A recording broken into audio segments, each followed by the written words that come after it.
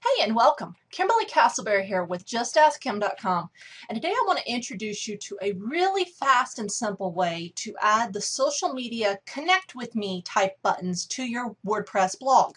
Now prior I've shown you how to add these buttons using code, how um, not actual code but using the HTML to put the images in your text widget. I still believe that that is going to be a really great way for most people to accomplish this. I'm not always a fan of adding more plugins when we don't need to.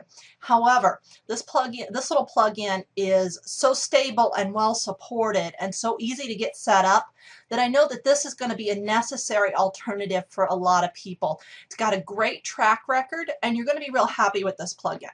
So what you'll do, the plugin is called Social Media Widget and you can see that it gives us a variety of graphic types and styling. So we're really quickly going to put this on a blog.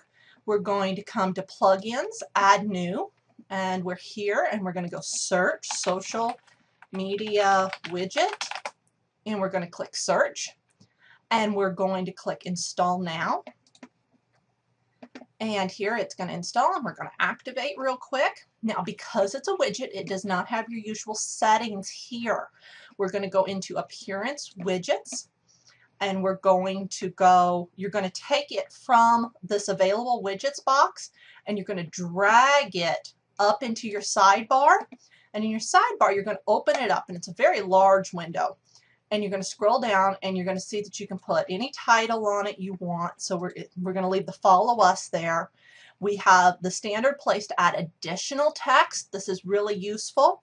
And then we have places to fill in our social media profiles and URLs. And there's a ton of stuff here, including boxes to put additional URLs. Really, really versatile little plugin for a variety of sites. And you can select whether you want the links to no follow. I do that as yes. Whether you want them to open in a new tab, yes whether you want them to left, center, or right align. I tend to like center, but depending on your layout, you may want left align. Um, we have additional options for the type of animation, if any, and the icon pack, which is those graphics that we saw, as well as what size we want them at. So you have this, fill in, you know, your Facebook URL, your Google Plus URL, your Twitter URL. I'd probably also put your feed URL in there. You might also put in sites like StumbleUpon. Oops, here's your feed URL. Put StumbleUpon in there. And really, what you're going to do is you're going to pick a balance of how many of these you can put in based on your sidebar width before it starts to look clunky. Let me show you what I mean.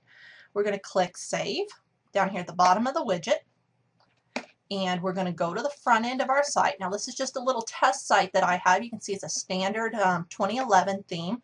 Nothing fancy going on here in the sidebar. Let me restart this or refresh it.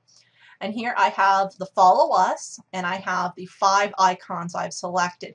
You can see that the fifth has rolled under the fourth because this theme has a very, very narrow sidebar. On this theme, I would probably want to use either four or 8 to make two full rows. Okay, you can see how it looks kind of funny. Although if I wanted to draw the eye to it, I might use 4 and 3 so that the lower row centered at a staggered situation under the first.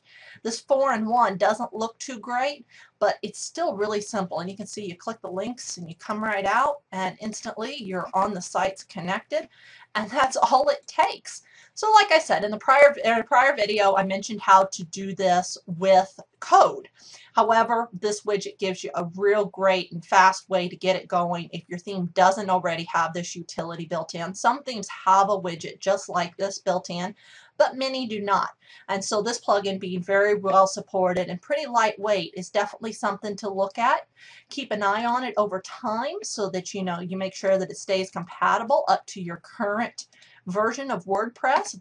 All right, I hope you enjoyed this tip. Again, a great way to add social media widgets to your WordPress blog. Take care, and I'll see you in the questions.